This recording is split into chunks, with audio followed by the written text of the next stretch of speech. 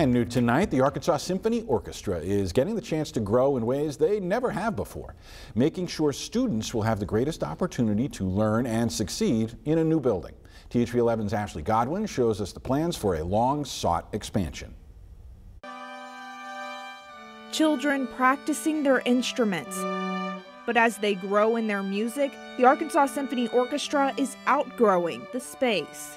And so we are just literally on top of each other. For the last 25 years, Arkansas Symphony Orchestra has used the building on the Catholic Diocese grounds for their offices. But the offices share space with the audition rooms, private lessons, and rehearsals for the youth orchestra, even converting a storage closet to allow more kids to learn. Nothing says, nothing says, uh, how fast can I write this grant than listening to beginning violins. It's right here next to Heifer Village where the Arkansas Symphony Orchestra will have their community education building and they're one step closer to groundbreaking.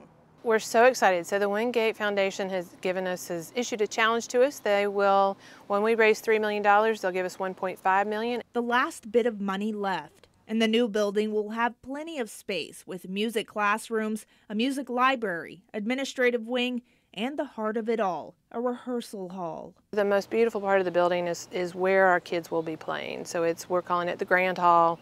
Um, so it'll be ceiling height so the kids can hear each other, but we'll be able to do recitals. Giving students the opportunity to grow into talented team players and leaders for the next generation. We need a new facility so that we can grow more students and grow more leaders and grow more doctors and IT and musicians and music teachers. In Little Rock, Ashley Godwin, THV 11 News. Thank you, Ashley. East Village, where that new building will be located, is not the only thing moving into that area. Lyon College will soon be moving some facilities into the Heifer building, and Fidel & Co. is looking to expand with a grocery store.